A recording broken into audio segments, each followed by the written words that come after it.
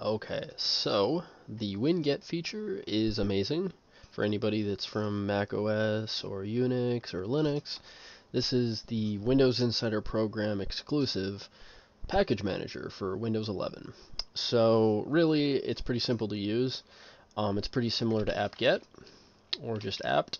Really, all we're going to do is we're going to use winget and we're going to search. So we're going to search for OpenShot, which is the OpenShot video editor, an open source video editor usually um, used with OBS, which is what I use, um, what I'll actually edit this video with. but uh, really, all we do is we just uh, winget search OpenShot, and it's going to give us a couple things here.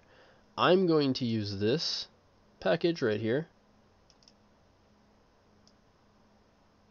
So really we just want to use the ID. We could either go based on this ID, which is from the Microsoft Store, or winget itself, which winget encompasses itself encompasses a very large repository. So we're just going to use winget. We're going to right click that, and I'll just copy it.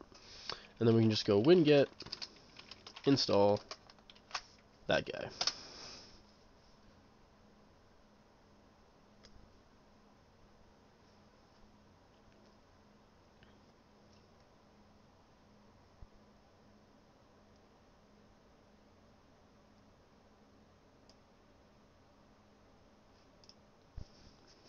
Okay.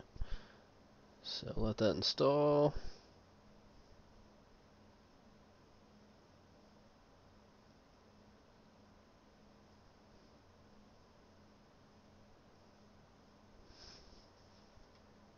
Okay, you'll just see the usual installer you'd see if you were to just download this directly from the publisher's website or from the Git repository, which is where this is actually coming from. This is coming directly from GitHub.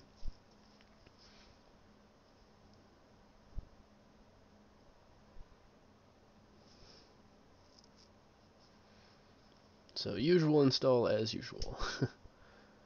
and then the cool thing is just like in Linux and just like if you're using uh, Homebrew with Mac OS, um, so this is installed, but the nice thing is you can actually update and upgrade these things as well. And to see the documentation on that, you could just look up update, upgrade, winget, and you'll you'll get all the documentation for that. But yeah, so basically, you can install everything using winget, just like you can get do with apt-get or pacman or uh, yum or any of those or yay. Any of those package managers or, or helpers or anything you need um, are right there at the at the uh, uh, drop of a hat. Super easy, right? Um, I love Arch. I actually dual boot Arch. Um, uh, I do use Arch, by the way. Um, but uh, if Windows keeps doing stuff like this, like VS Code open sourcing that, and um, and stuff like winget and this GUI, this uh, this beautiful, this amazing um, user interface they have, the UX they have for Windows 11, which looks a lot like it looks a lot like GNOME. Honestly, I think it looks a lot like GNOME and KDE Plasma mixed together.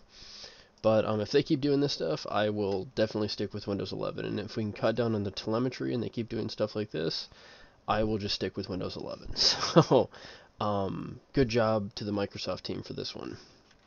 Anyways, I uh, hope you enjoyed the video, and if you'd like to see more like this, please comment, like, and subscribe. Thank you so much, and goodbye.